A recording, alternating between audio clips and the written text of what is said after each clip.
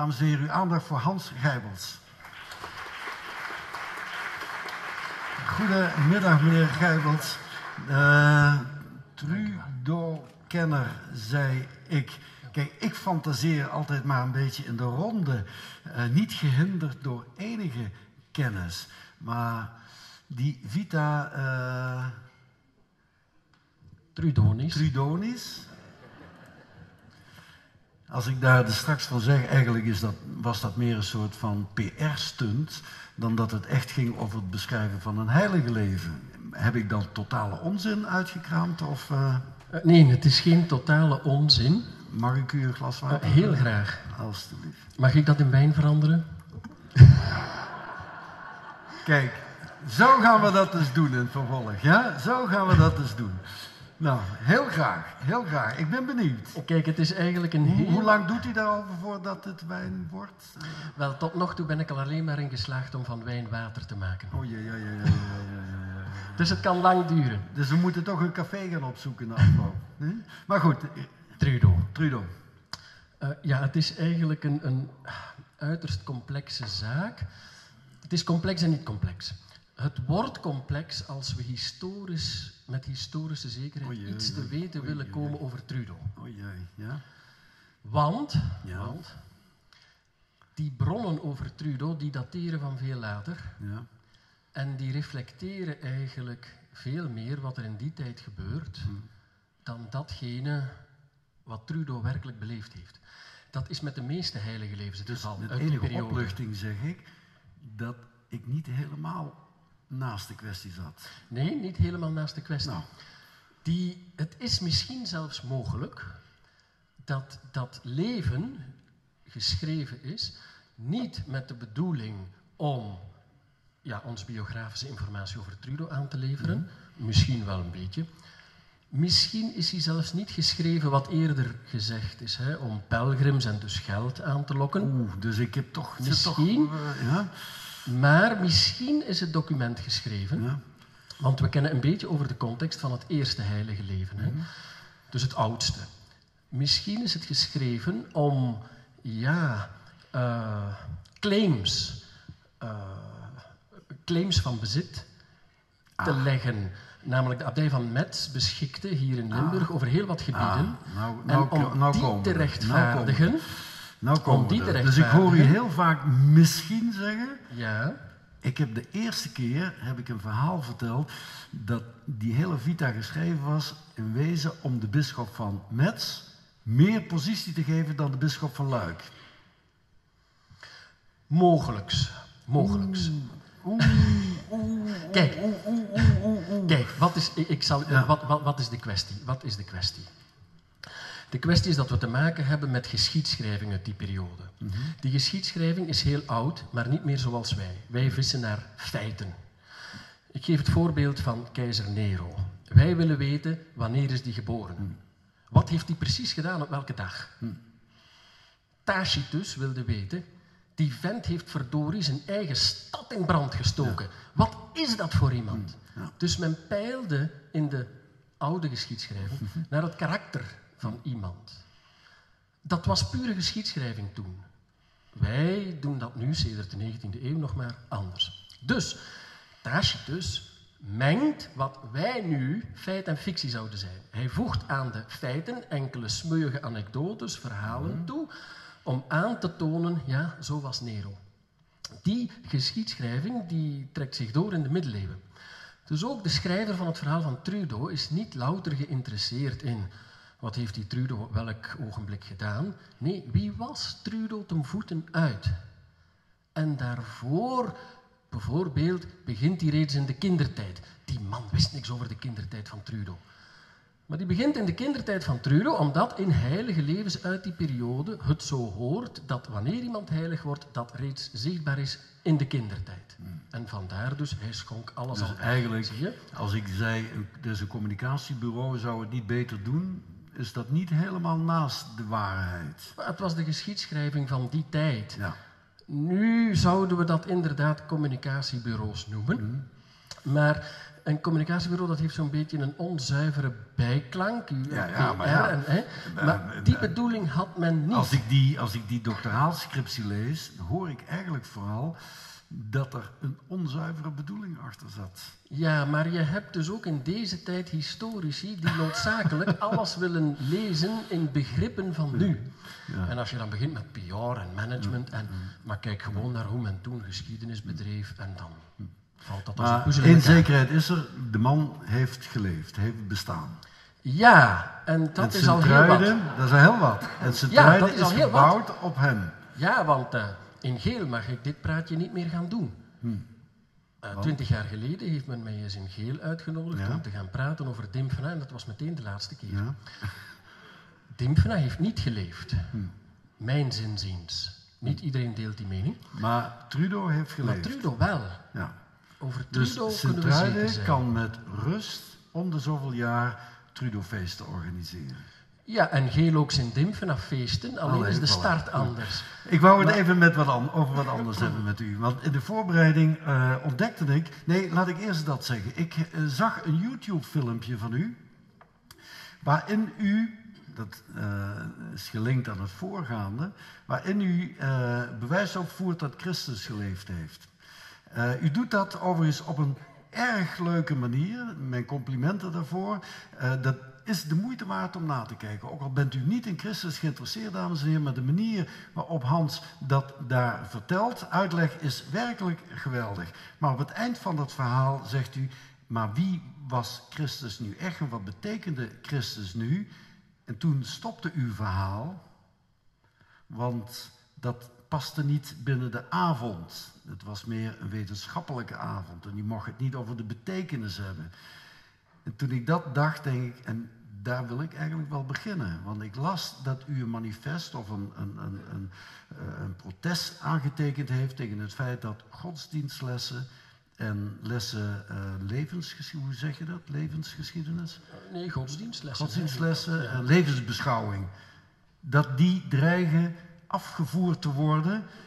En daar komt die Christus plots eh, weer naar voren. Ja, die avond, eh, dat was voor de Universiteit van Vlaanderen. En die vroegen, ja, heeft Jezus echt geleefd? Dus dat is een historische vraag. En daar is een historisch antwoord op te geven. Want wat zelfs heel weinig gelovigen weten, is dat de historische biografie van Jezus van Nazareth, dat die momenteel toch wel 1500 bladzijden telt. Historisch. Dat is dan het volledige dossier, bronnenonderzoek, alles heel vervelend. Maar beperk je tot de conclusies. Op elk, het einde van elk hoofdstuk staat een conclusie en dan ben je dus helemaal mee. En ja, dan, ja, wij weten over die historische Jezus van Nazareth meer dan over heel wat Romeinse keizers. Met historische zekerheid. Oké? Dus die figuur heeft daadwerkelijk geleefd. Vind ik heel belangrijk. Dat is één ding. Maar dan zijn betekenis. Die betekenis, daar hebben we vandaag, denk ik, 5% van begrepen. Ja. Ja, als je ziet bijvoorbeeld, als je de evangelies heel goed leest, dan heeft Jezus het over bijvoorbeeld gelijkheid, gelijkwaardigheid. Op dit ogenblik zijn er vrouwen die hetzelfde doen als ik en daarvoor in dit land minder verdienen. Dus die gelijkwaardigheid, daar zijn we nog niet zo heel ver mee. Hè? Jezus heeft over echte vrijheid. Echte vrijheid. Niet de vrijheid, de pseudo-vrijheid, dat je doet wat je wil en je eigenlijk achteraf merkt van, verdorie, eigenlijk heb ik gekozen omdat mijn ouders dat wilden. Eigenlijk heb ik dat gekozen om te imponeren op mijn vrienden. Echte vrijheid. Zelfstandig een overwogen beslissing nemen. Dat is heel gek. Dat is heel gek. Want we leven in een tijd waarin dat individu centraal staat. Ik word daar wekelijks in aulas mee geconfronteerd. Daar kiest bijna niemand echt vrij. En die aula zit vol, vol, niet allemaal, maar mensen die denken dat ze autonome individuen zijn. En Hm. Dirk de Wachter Hij heeft net een boek uitgegeven over het individu. Hoe kan het individu inderdaad uh, gelukkig, in dit geval draait hij het om, ongelukkig worden. Uh, maar er zit verder geen enkele maatschappelijke context bij zijn verhaal. Ik heb dat eigenlijk met verbazing gelezen, moet ik u eerlijk zeggen. En u zegt dat Christus wel die maatschappelijke context uh, aanbiedt. Ja, het verhaal van Christus, als je dat goed leest, maar dat is eigenaardig. Dat is heel eigenaardig. Als het gaat over het boeddhisme hier in West-Europa, dan gaat het over de Boeddha. En nooit over de geschiedenis van die mannen. Hmm. Als het gaat over eender welke godsdienst, gaat het over de bronnen. Hmm. Als het gaat over het christendom, gaat het over de geschiedenis van de kerk. Hmm. Ja, en? Ik wil praten over het evangelie. Ja. Dat is wat ik doe met mijn studenten. Daar zitten 300 ingenieurs. Ingenieurs, geen theologen. Ik geef het vak religie, zingeving en levenschool. 300 ingenieurs. Kom maar eens luisteren. Hè. Dat is daar even stil als hier. Als je gaat naar de kern van het verhaal, de kern van de boodschap, en die is na 2000 jaar nog altijd even fris, nog even. Ja, die Jezus van Nazareth. Laten we de balans eens maken. Nee, maar dat is de meest is nog persoon even de fris, geschiedenis tot nog Ja. toe. Hè? Die, dit is nog even fris, die boodschap. Hè? Ja, Ik maak terug even wat ik met mevrouw de Oude ook over had.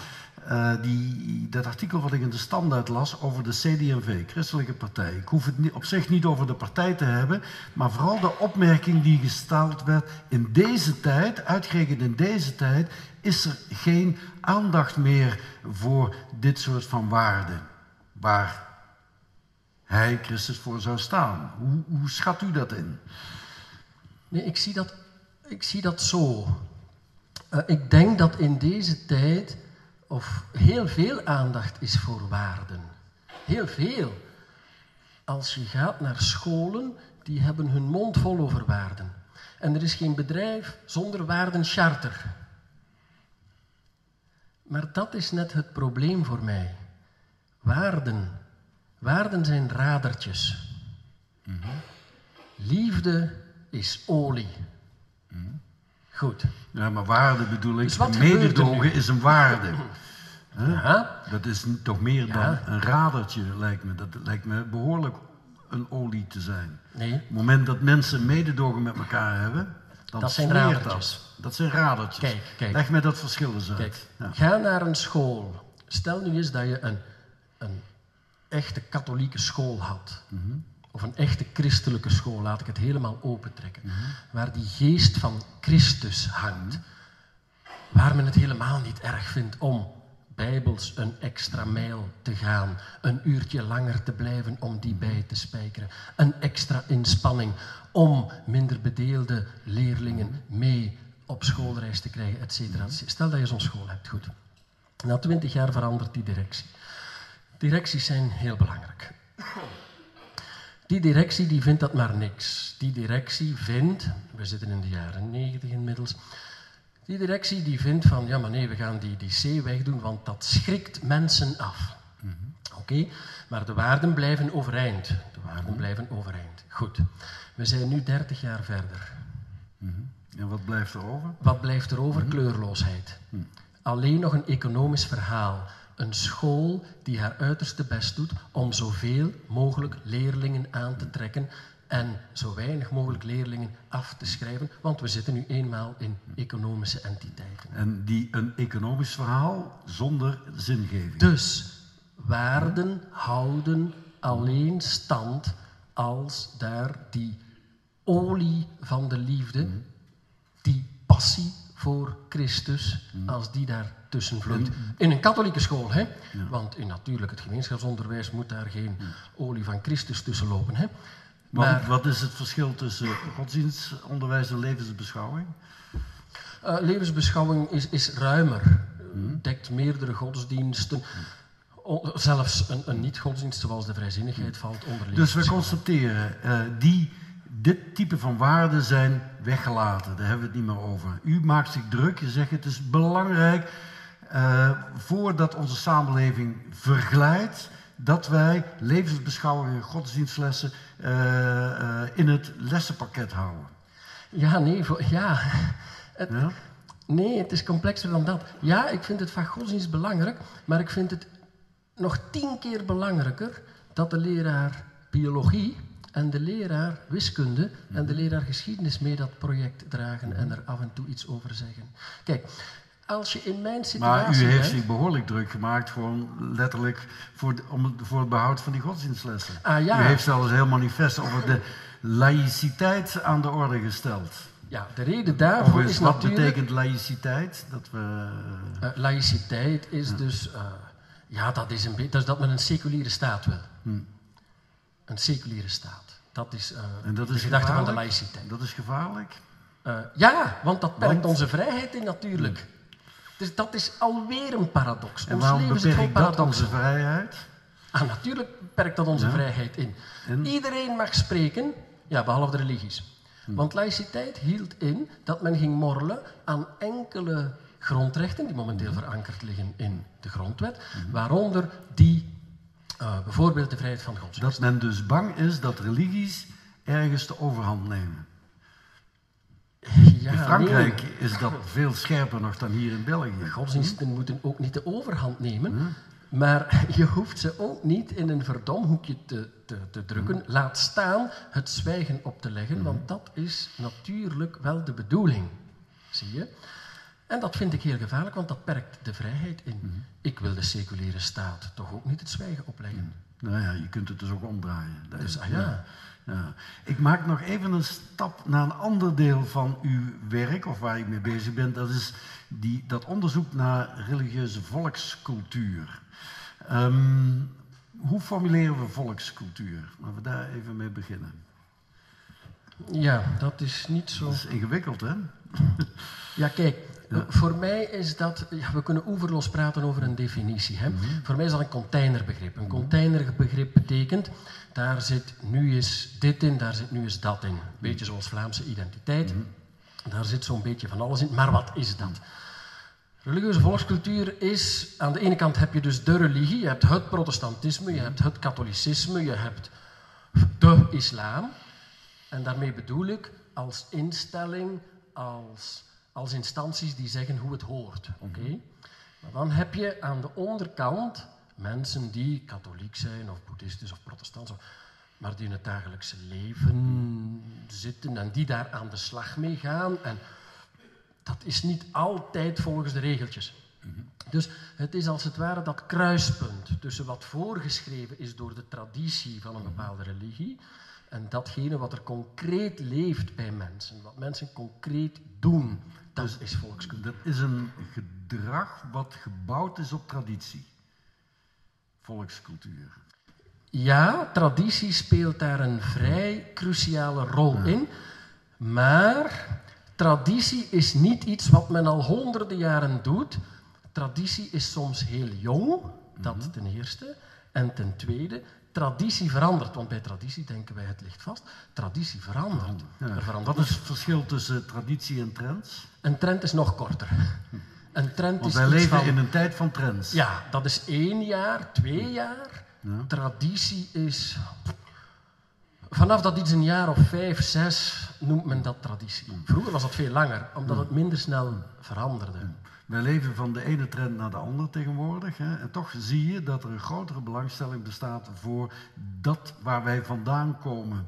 De traditie, eh, onze identiteit. Wij lijkt wel alsof wij in deze tijden, deze merkwaardige tijden, allemaal onze identiteit verloren zijn. Er zijn zelfs regeringsverklaringen die roepen: wij moeten die identiteit op tafel zetten, we gaan een kanon oprichten. Dat is weer een paradox. Onze tijd zit vol paradoxen. Dat is weer een paradox. Net nu het zo individueel wordt en wij zo op onze autonomie staan en we best eens zouden realiseren hoeveel mensen er nodig zijn om mij autonoom te laten zijn. Maar goed, nu, net in dat tijdvak, ons, onze, zijn mensen plots op zoek naar, ja, maar waar komen wij vandaan? Wat bindt ons? Wat zijn onze roots? Dat is heel eigenaardig. Want ik maak mijn eigen identiteit en plots heb ik daar een kookboek uit het verleden voor nodig. De Vlaamse kanon. Ja. Zie je? Eigenaardig, een paradox. En ja, men zal daar dus aan beginnen sleutelen. En dat gaat tot. En die kanon ligt nu al half vast, want zo gaat het in Vlaanderen. Hè. Die ligt eigenlijk al vast. We kunnen daar dan nog een beetje over bakkeleien in de pers. Maar eigenlijk is die al gemaakt. En daar zullen heel eigenaardige dingen op staan, zoals 1302, dat heel weinig te maken had met Vlaanderen. maar dat zal erop staan. Dus we gaan alweer aan geschiedvervalsing doen. Wie daar zeker niet op staat is Leopold II, want daar willen we niks meer mee te maken hebben met die stoutrek in Congo. En dus doen we net hetzelfde als sommige regimes in het verleden. Hè? Met name het communisme en het nazisme. Alle standbeelden weghalen van personen die ons niet zinnen. Zijn we goed democratisch bezig. voor een kanon. Zijn we goed democratisch ja, bezig, hè? Ja, ja. Enfin, dan, ja. In Nederland heeft dat in- tot enorm veel problemen geleid. Wij gaan die nu krijgen, want we willen natuurlijk ni- niks leren van onze noterburen. In Nederland heeft men er wel iets op gevonden dat niet geheel oninteressant is. Als er dan toch een kanon komt, gaat men die om de x aantal jaar, ik weet niet in Nederland hoeveel jaar dat is, gaat men die evalueren en gaat men zeggen van ja, maar kijk, moet daar niks bij? Of, gezien recent onderzoek, hè, moet daar niks af. Dus die kanon is daar ook een levend gegeven. Want er is ook een positief iets te zeggen voor een kanon. Ik viel van mijn stoel toen ik Miss België in 2014, 2008, nee, 2014, toen Miss België, toen men haar de vraag stelde van wanneer is de Eerste Wereldoorlog gedaan? In 2014, hè? En zij antwoordde, ja, enkele jaren geleden zeker. Dus misschien is zo'n kanon, het is niet helemaal is uit niet een boze ook niet. Maar het gaat natuurlijk, als we het over kanon hebben als metafoor. Hè, eh, wij hebben behoefte om onze identiteit uit te tekenen. Ehm, ik heb mijn tijd bezig mogen houden met eh, rituelen. Eh, ik ben gefascineerd geraakt door eh, maskers in Zwitserland. In het Lutjentaal had je de zogenaamde chagetta's, die dan met houten maskers en schapenvellen en bellen in de winter in de sneeuw rondliepen om de demonen te verdrijven, onze diepe angsten te verdrijven. U bezig met de volkscultuur, rituelen. Ehm, ik las daar een artikel over en er werd gezegd, werd een Duits eh, begrip neergelegd. Zei, Wir werden een ander immer fremder. In tijden dat er rituelen bestonden, waren we dichter bij elkaar. Vandaag de dag werden wir een ander immer fremder. Hoe belangrijk zijn rituelen eh, in deze tijd? Eh, heel belangrijk. Ze zijn heel belangrijk omdat pardon, binnen een familie vormen ze de familie. Bepaalde rituelen binnen een familie tekenen uit wat is onze familie. Ja, ze tekenen ook uit wat een, een volk is. En ik vind dat er allemaal niks mis mee is. Maar, Maar, ik heb daar straks gezegd, rituelen zijn zoals tradities. We moeten zien dat die, die dingen zijn niet absoluut. Trouwens, de meeste rituelen die wij nu doen, zijn heel recent. De hele het, hele, het hele huwelijksritueel dateert bijvoorbeeld uit de jaren 60. Dus wij hangen zo vast aan die rituelen, zeker wanneer we gaan trouwen. Die, die zijn zelfs niet van ons, die, die komen uit Amerikaanse films. maar Nee, dat, man en de vrouw over een drempel. Vlaamse mannen zijn altijd zo slim geweest om zich daar geen whiplash aan over te houden. Maar in Amerika deed men dat en dus plots moeten wij dat ook doen. In het wit trouwen, dat soort dingen.